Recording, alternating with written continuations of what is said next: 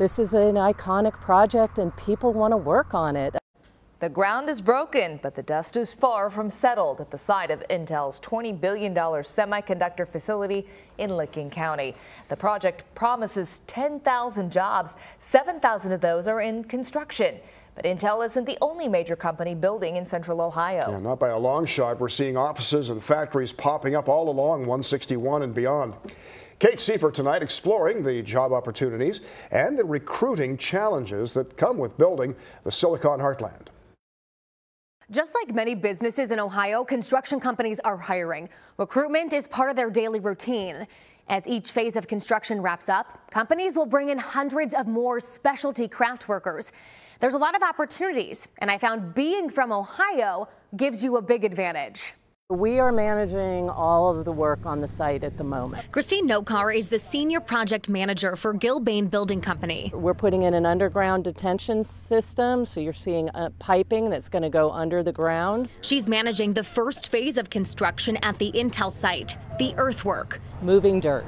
Simple we're kind of taking one from one area and putting it in another area and really setting up to for the next phase to build those buildings. Are the people who are working on this phase, are they from Ohio? Are they from elsewhere across the United States? 99% of the workforce is from Ohio. This is an iconic project and people want to work on it. That helps in the recruiting process. The company hiring now for both construction and office jobs. We're really looking to uh, expand our workforce. Right now, we have 350 to 400 craft workers here every day. Across the highway is biotech company Amgen. Turner Construction is working on this project. We feel very good about the staff levels here, but there's always that challenge of craft work. There's just so much work going on in central Ohio. Having the right number of craft people on the job is a, is a huge uh, challenge that we face every day. A challenge VP and regional GM of Turner Construction, Brian Mooney, says is expected when you face the growth central Ohio is seeing. We are constantly looking for employees, starting from college new hires and interns all the way through long-term experienced hires. But can central Ohio keep up with the growth? Our workforce uh, is over 1.1 million people in, across central Ohio now. We're proud of that. Honestly, though, it needs to be closer to 1.3 million to keep up with the kind of job growth that we're projecting to have.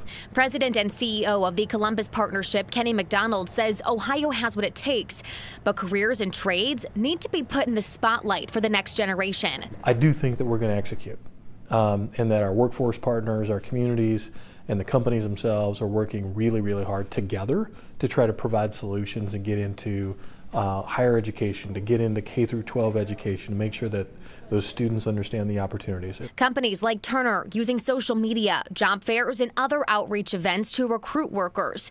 Like Gilbane, many of the workers on site are Ohio bred. And that's something we take great pride in is that we're building this with the labor that we have at home. Both companies are pushing for diversity on their sites. We are always looking for, for people with diverse backgrounds. Christine is an example. She's breaking barriers and encouraging other women to do the same. Go for it is what I'd like to say. I came to Ohio to work on the construction of the Schottenstein Arena how many years ago?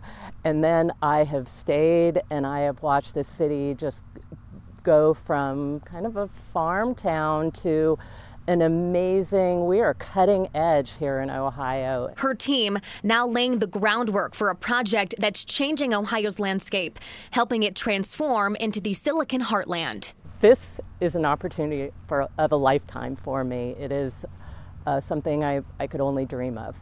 There are lots of jobs available right now laborers, electricians, plumbers. We put links to the application sites for both of those construction companies you heard from there, plus career resource and starting pay information all on our app. On your side, I'm Kate Seifert.